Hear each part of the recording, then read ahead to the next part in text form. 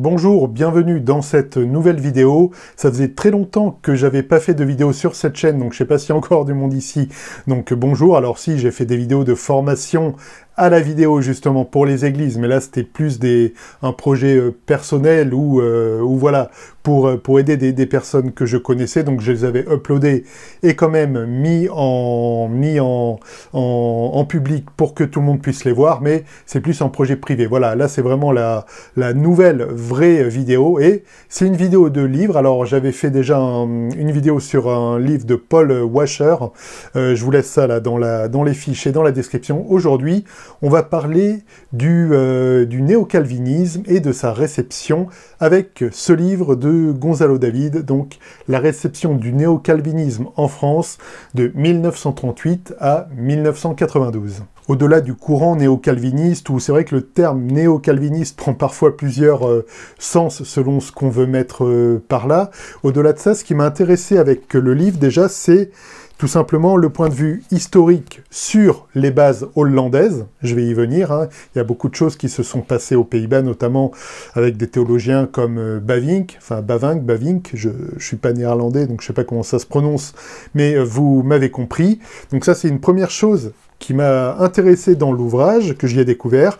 Et une deuxième chose, c'est beaucoup de raisons finalement qui expliquent des débats et des profonds désaccords qui existent actuellement dans l'actuelle euh, Église protestante euh, unie de France. En fait, beaucoup de, germes hein, de, ces tendances à quitter une, une orthodoxie raisonnée, en fait, euh, sont expliqués euh, dans ce livre, enfin sont expliqués. Du, moins, cet ouvrage donne des, pistes qui permettent globalement quand même de bien comprendre comment on en est arrivé là? Gonzalo, c'est un ami, donc bah, je te salue d'ailleurs si tu, si tu regardes cette vidéo. Voilà, donc je vais lire la quatrième de couverture que tu as écrit. Donc Gonzalo David est titulaire d'un master en théologie de l'Institut protestant de théologie, faculté de Paris, et du master en sciences des religions et sociétés de l'Université d'Artois. Actuellement, il est en doctorat double saut de l'Institut protestant de théologie, faculté de Montpellier et de l'Université Paul Valéry, toujours de Montpellier. Voilà. Donc euh, Gonzalo, bon, c'est connu tout simplement quand il était euh, assistant à la paroisse de Saint-Germain. Euh, donc voilà, quand, quand Julien était pasteur, Julien Coffinet, l'actuel directeur de, de, la cause. Et voilà, donc on a beaucoup échangé, on a fait des quelques vidéos ensemble, voilà, et euh, justement, j'étais même allé prêcher à Ponto Combo, là où, là, où il se, se trouve actuellement. Euh, enfin là où il se, où tu te trouves euh, actuellement, parce que je dis tu quand je m'adresse à Gonzalo, mais je dis il quand je m'adresse à vous pour vous parler de Gonzalo. Euh, voilà, donc c'est avec un plaisir non dissimulé que j'ai, je me suis procuré cet ouvrage, parce que Gonzalo, voilà, bah, sa, langue natale, c'est pas le, français, mais c'est c'est l'espagnol, hein, donc voilà, je suis content d'avoir quand même un ouvrage de toi français. Le menu est assez riche de ce qu'on peut trouver dans, le livre. Hein. Donc voilà, il y a une, grosse introduction déjà contextuelle. Et déjà, la première partie, c'est voilà, les églises réformées françaises au début du XXe siècle, l'origine. Donc l'origine dans les Pays-Bas, on va y venir, l'immigration en Amérique du Nord et le néo-calvinisme en Afrique du Sud. Voilà, donc Pays-Bas, Amérique du Nord, Afrique du Sud, et d'où tout ça est arrivé quelque part en France. Ensuite, il y a une grosse section sur Auguste Le Serre ou comment diffuser le néo-calvinisme en contexte pluraliste. Il y a ensuite une longue section euh, dédiée à Pierre-Charles Marcel, et euh, notamment euh, la création de la fameuse revue réformée et les influences qu'il y a eu à la faculté de théologie protestante de Paris. Et enfin, euh, on en vient à un autre euh, personnage quand même important, c'est Pierre Courtial. Voilà.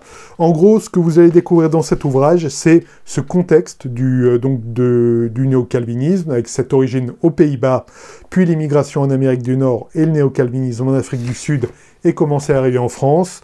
Ensuite, le focus sur Pierre-Charles Marcel, et ensuite, un point pour terminer sur Pierre Courtial. Bien entendu, je ne vais pas vous spoiler le, livre, hein, je vous invite à vous le procurer, c'est sur, Amazon.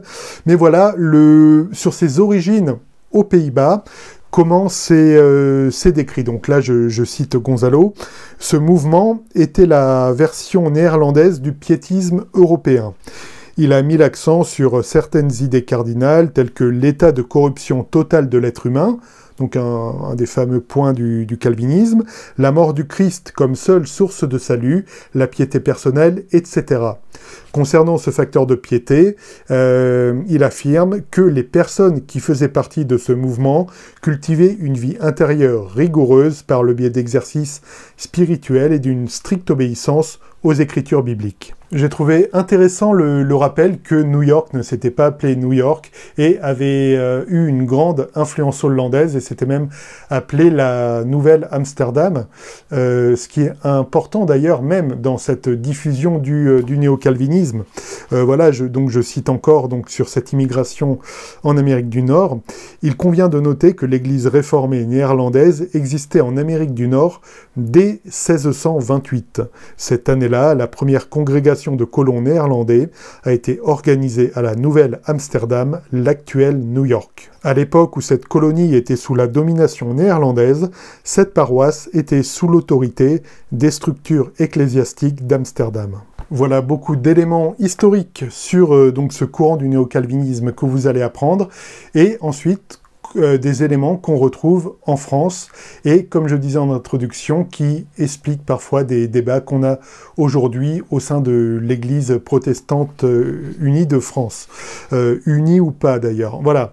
notamment là, je, vais citer un point important en fait, c'est la création de la revue réformée. voilà, donc je cite, c'est en 1950, Marcel a fondé la revue réformée. Il en a été le seul rédacteur en chef jusqu'en 1978. Cette revue était plus largement diffusée et mieux connue à l'étranger qu'en France. Ceci peut-être parce que la théologie réformée confessionnelle de Marcel représentait un secteur très minoritaire au sein de l'Église réformée de France. Paul Vels, ancien professeur de dogmatique à la faculté Jean Calvin d'Aix-en-Provence, souligne que ni Marcel ni Courtial n'ont vu leur théologie calviniste biblique être bien accueillie dans leur église dans laquelle ils se sentaient marginalisés. Voilà, dès la revue réformée et finalement le fait qu'elle a eu moins d'influence en France qu'à l'étranger, on voit finalement poindre les, débats qu'on a actuellement avec l'Église euh, protestante unie de France, qui s'est très très largement euh, libéralisé jusque dans, dans ces hautes euh, institutions où évidemment des, paroisses localement euh, maintiennent une, une, théologie vraiment confessante, une théologie voilà qui, reconnaît que Jésus est vraiment mort, vraiment ressuscité, qui, qui maintient le, la réalité du péché, qui maintient la, la réalité de la, de, la, de la repentance. Mais voilà, on voit que ces choses en fait, dont on discute maintenant, était en germe quelque part, il y a de ça euh, plusieurs, euh, plusieurs décennies, euh, dès l'époque de, théologiens comme Marcel ou Courtial. Une dernière chose que je vais évoquer, je vous laisserai lire le reste, le reste vous-même en vous procurant cet excellent ouvrage, c'est la création de la faculté d'Aix dans les années 70 qui elle aussi est une euh, réponse quelque part à déjà des tendances de, de, libéralisme excessif qu'on trouvait au sein de, enfin c'était pas l'Église protestante unie de, France à l'époque, mais c'était l'ERF, Église réformée de France. Voilà, Gonzalo écrit euh, ceci. Pour comprendre pourquoi cette faculté a vu le jour, il est nécessaire d'avoir une idée claire du contexte dans lequel elle s'est produite. Berthoud dit que c'est alors que les églises historiques traversent une crise profonde que la faculté libre de théologie réformée a été inaugurée. La crise profonde dont parle Berthoud serait la transformation du protestantisme réformé historique au cours des deux décennies qui ont suivi la Seconde Guerre mondiale, ce dont nous avons déjà parlé. Selon la perception de certains dirigeants qui souscrivaient à une sensibilité confessionnelle, l'ERF, donc Église réformée de France, avait connu une évolution dans laquelle la position libérale monopolisait de plus en plus la vie institutionnelle à tous les niveaux, tant au niveau intra-ecclésial que dans les facultés de théologie. Avec ce fait de la création de la revue réformée dans les années 50, avec cette création de la faculté d'Aix dans les années 70. Voilà, je parle pas de, de choses qui datent d'il y a de ça quelques mois. Donc, on voit que les choses, en fait, viennent vraiment de loin et ce livre aide à avoir la source, en fait, de la source de problèmes, la source de, soucis ecclésiaux que nous avons actuellement et ces choses que j'ai évoquées, ce, libéralisme outrancier qu'on rencontre aujourd'hui euh, assez majoritairement hein, dans l'Église euh, l'Église protestante unie de, France. Euh, alors bien sûr, le, livre est écrit de manière académique. Hein. Je, les propos que je tiens ici n'engagent évidemment euh, que moi.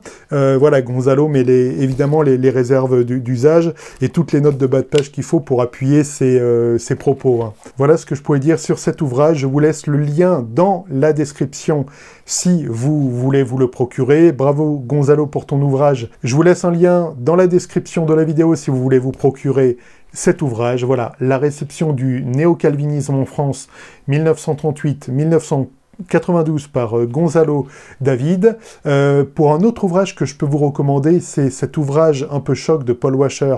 Euh, je vous laisse, ça va s'afficher là si ça ne s'est déjà affiché. Donc on se retrouve dans cette vidéo ou dans la prochaine. Quoi qu'il en soit, je vous dis à très bientôt et soyez abondamment bénis. Ciao